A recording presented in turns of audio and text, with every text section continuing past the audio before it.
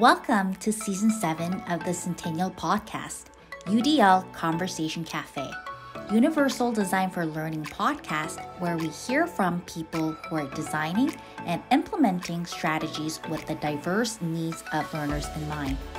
I'm your host, Teresa Lee, and I invite you to join me as we explore examples of UDL in action with Centennial students and faculty and learn how it empowers students to thrive. We really want to know what does accessibility mean to you? And specifically when it comes to in class at Centennial in your course, courses that you're taking, and the program. Accessibility is about being seen for who I am, how I identify, how I learn, how I want to learn, how I prefer to learn. Listen and subscribe to the Centennial College podcast on SoundCloud, Apple Podcasts, Google Podcasts, and Spotify.